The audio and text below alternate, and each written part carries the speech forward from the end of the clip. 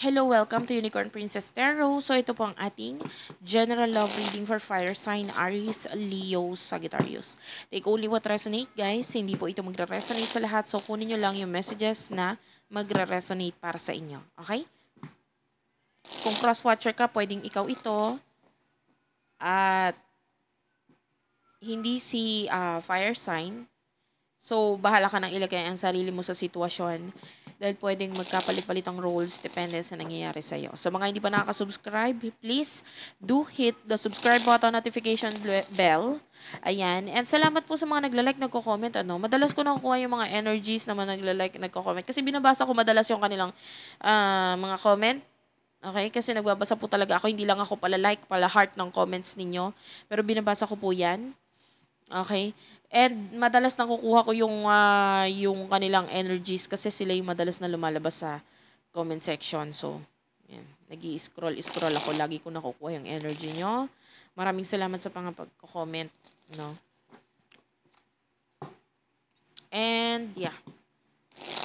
For personal reading, nandiyan na lang po sa description box. Pwede nyo puntahan sa bahay nila, Calamba, Laguna, ang location, Jean Clemente Palmes. So, let's start.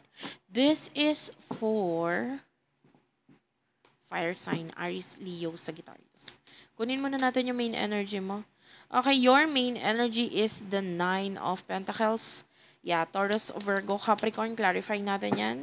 Okay, so we do have here the three of wands. Aries, Leo, Sagittarius, Taurus, Virgo, Capricorn, Gemini, Libra, Aquarius, energy, bottom of the deck.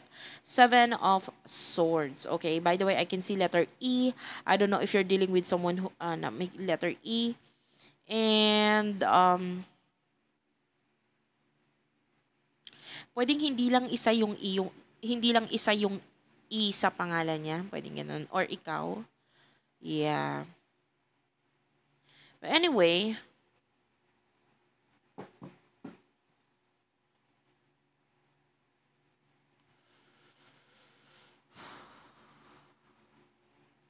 For some of you, pwedeng wala ka munang pakialam sa mga tao or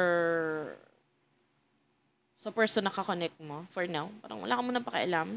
Yung focus mo is um, maybe your goals, kung ano yung gusto mong achieve sa buhay mo. Uh, yeah, for some of you, pwede may kakonect ka ngayon, but you still want someone else. Nandito yung focus mo, nandito yung, take only what resonate, guys, hindi to para sa lahat. Pero ayaw mong lumabas as masama. Okay? Pero nakikita natin na parang tinatabangan ka na sa kanya, na parang hindi ka na nagpapakita ng interest, bagkas mas nakikita natin, piniprepare or naayos mo yung sarili mo for someone else. Pero sabihin na natin may gusto ka dito sa isang person na ito, but you, you, you don't care about the person as well kumbaga napapansin mo lang siya pero hindi ka naman OA na para magpapansin sa kanya. Kung inaayos mo yung sarili mo, pwedeng inaayos mo yung sarili mo kasi gusto mo lang. Okay, gusto mo lang mas maging maayos, mas maging good looking, ganyan. And then on the other hand, kung may kakonect ka na ngayon, may kasama ka na ngayon, ganyan, may karelasyon ka na ngayon, pwedeng medyo tinatabangan or may coldness na sa inyong dalawa. Sa iyo man galing yun or sa person mo, may coldness na tayo nakikita dyan. And I do feel like for some of you, you're not talking to the right person. Kung sino yung kailangan, I mean, kailangan, for some of you, kailangan mo ng advice. Kay, or, um, eto mga tao na ito, binibigyan mo ng advice, but eh, hindi naman nila ina-apply yung advice na yon sa sarili nila uh, maybe you're talking to the wrong person. Maybe sometimes kailangan mo lang makinig. Gusto lang nila makinig ka. Okay, hindi naman ibig sabihin na sinabi nila sa yung problema nila or yung mga pinagdadaanan nila. Hindi naman ibig sabihin nun kailangan na, na rin nila ng opinion mo. Minsan maybe they just want to talk. They, they just want to share their lives, ganun.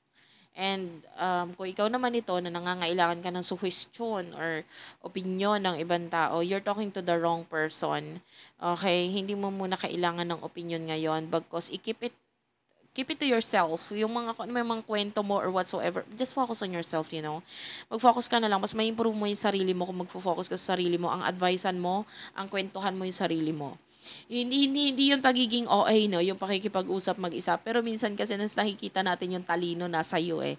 Yung kausap mo parang hindi rin naman, alam mo yon he, eto, take only what resonates. I'm telling you, take only what resonates.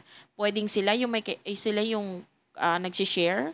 And then all you have to do is listen. Ganyan. And or, ikaw itong kailangan mo ng advice but actually, I don't see you na kailangan mo ng advice. Mas nakikita natin, hindi, ang pinaka-advice sa'yo is focus on yourself. Mag-improve ka muna. Okay? Why? Kasi mas makakasama pa yung advice nila sa'yo. Yun ang nakikita natin. Hindi, hindi mo, kumbaga hindi mo rin may apply ng maayos sa'yo kasi hindi naman talaga yun yung kailangan mong advice. Okay, sana nagigets mo ha. Guidance lang po ito.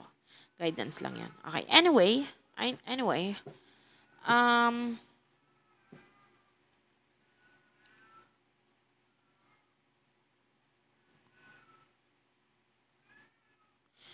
alam mo, kung sino man yung kakonect mo na bago, I can see new person. Marami kang may offer sa kanya eh. I feel like your person is interested. Interested itong new person na ito sa'yo. Interesado siya, sobra. But, you know, pwedeng hindi niya lang mai-out kasi there's no freedom. Hindi niya lang mai-out. Although, uh, although this is your main energy, pero pwedeng alam mo rin na kaya siya ganun is because of the situation. Okay, pwedeng may sitwasyon, nagiging blockage sa inyo nitong person nito, kaya hindi niya mai-out sa'yo. Alam mo yon naiintindihan mo yon Uh, and I feel like you're willing to improvise or willing to help. Ayan, willing ka makipagtulungan dito sa person na to. But for now, wala kang munang pakialam. Okay, yung parang pinapakita mo na, okay lang, meron ako nito na pwede, akong, pwede kong i-offer sa'yo just in case. Pero uh, kung hindi ka naman maglalabas ng iyong emotions or whatsoever, hindi ka naman gagawa ng paraan, di okay lang. The, uh, the, uh, the offer is still here or etong kaya kong ibigay sa'yo is nandito lang. Maybe this is your love, this is yourself, or kung ano man, you know, take only what resonates.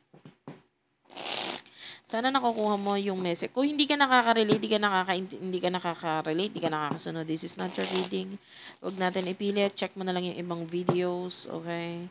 So, um, sino to person nakakonect mo for fire sign? Person nakakonect mo for fire sign?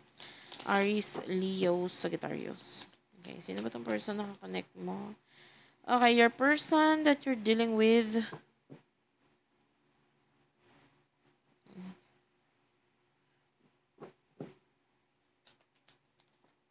Okay, we do have here the Knight of Pentacles, Taurus, Virgo, Capricorn energy. Interesado talaga. Alam mo, alam ng person mo yung offer. Maybe alam niya kung ano yung kaya mong i-offer or ibigay sa kanya. Interesado siya doon. Pero parang hinihintay niya din na ibigay mo ito sa kanya or sabihin mo or maging open ka regarding this. Yung person mo, nakikita natin, na gumagawa na rin siya ng paraan, hindi ka na siya masyadong pinapahirapan. I don't know, maybe before may mga pagpapahirap ka pang ginawa dito sa person na ito. Pagpapahirap kumbaga nahirapan ka rin intindihin siya, nahirapan ka rin malaman kung ano ba talagang gusto niya. But this time around, nakikita natin na hindi na siya masyado nagbibigay ng pagpapahirap sa iyo. Okay? With over the death card, so there's a complete ending na nangyayari sa person mo. Yun na nga eh. Nilalayuan niya na yung ganong klaseng uh, problema sa inyo. Yung parang, hindi na siya mahirap kakonect alam mo yon kumaga, maybe before nagkakaroon ng, ang hirap naman ka-connect nitong person na to. Parang napaka-komplikado, napaka hindi ko siya maintindihan, ano ba talagang gusto niya mangyari, whatsoever. Nakikita natin yung person mo, mas madali na siyang ka-connect ngayon. You know what I mean? And we do have here the, okay, uh, the Six of Swords, okay, so nakikita natin, yeah, your person is like, if you're dealing with a soulmate, gising na siya doon, gising na siya doon sa pagiging soulmate ninyong dalawa. I feel like um willing na siyang aminin sa iyo itong uh, regarding sa connection. I mean, ready or willing na siyang aminin sa iyo kung ano yung totoo.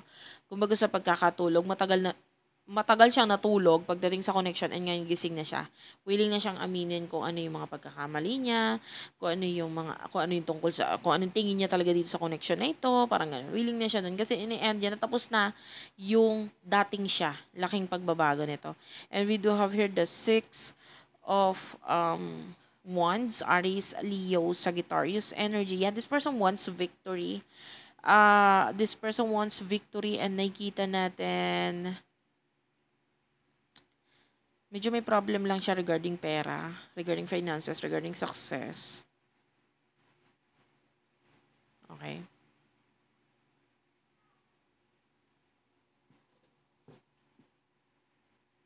And I can see this person talking to his or her friends. Kung baga pati yung mga tao sa paligid niya, nire-ready niya na rin kung saan, ano yung plano niya sa'yo. I feel like, alam mo sa totoo lang, this is the person that, that is going to give an offer. Nakakita tayo ng pag-e-effort or pagbibigay or pagsasalita dito sa person na ito. Kaya lang piniprepare niya muna yung mga tao sa paligid niya.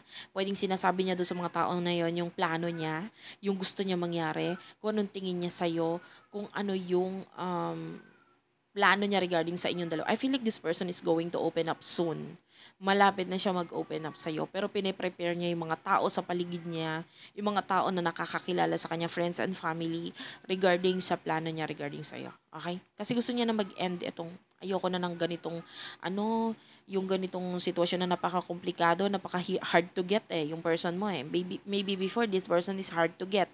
Pero ngayon, kahit hindi mo siya kunin, ako yung person mo, kusa na siyang lalapit sa'yo. Okay, wait up lang, wait up lang guys. Okay, sorry about that.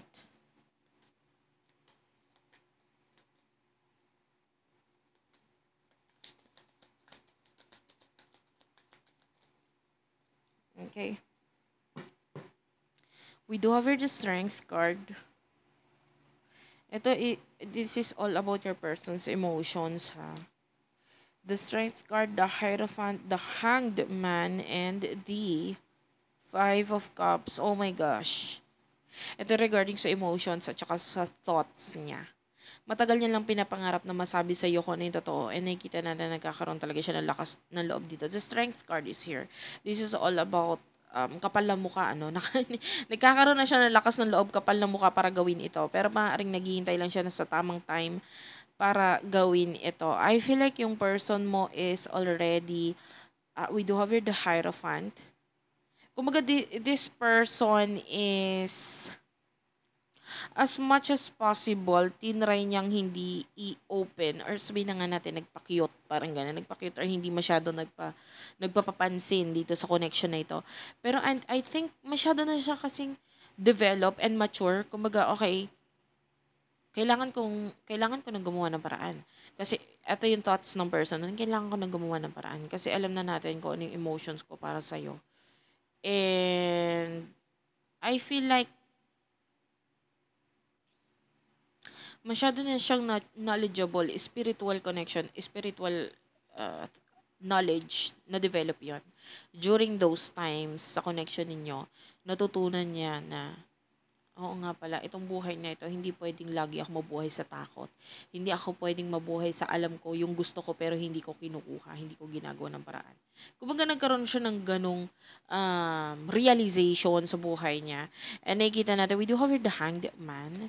Kung may hinihintay man itong person na ito, yun nga, yung tamang timing na lang. Okay? Hmm, this person is really being patient right here. Nagiging patient lang siya into something maybe meron din siyang hinihintay na, ta- na, na mangyari dito. Pero nagiging patient. And this person wants to uh, to have you. Yun yung pinaka nakukuha. Gusto kanya makuha. Gusto niya magkaroon ng connection sa inyo. Gusto kanyang parang napagod na siya, na umay na siya sa kung ano yung mga nangyayari sa ngayon sa buhay niya. Parang gusto niya ng something new, ng bago. Pero patiently waiting lang itong person na ito for some kind of new beginning sa inyong dalawa. Okay? Yeah, this person loves you. Na, dumating din sa point na yung person mo nasaktan din siya, no? Anyway, what will happen in the near future for the both of you?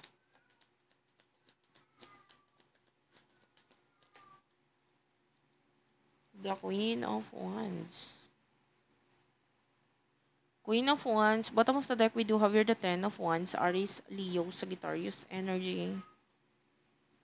The the Ace of Cups, the Queen of Wands, and the Devil is here in the, in the near future. Okay, yung person mo,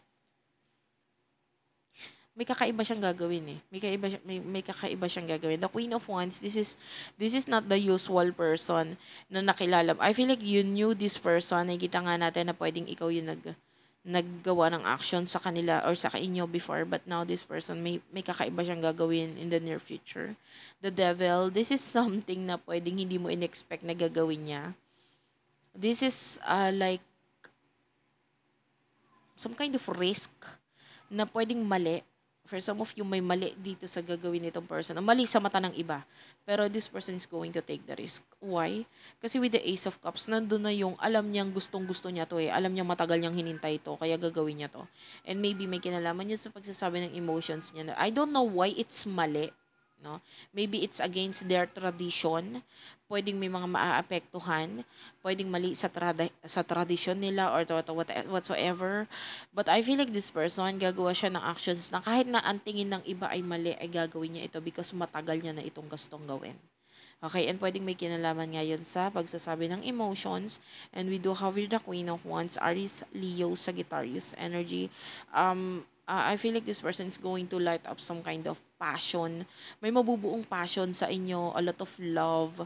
Ayan, mag ignite na naman kayong dalawa nitong person na ito. Mabubuhay muli yung pagmamahalan sa inyong dalawa ng person na ito. And maybe noon kasi ikaw nagbigay nun eh.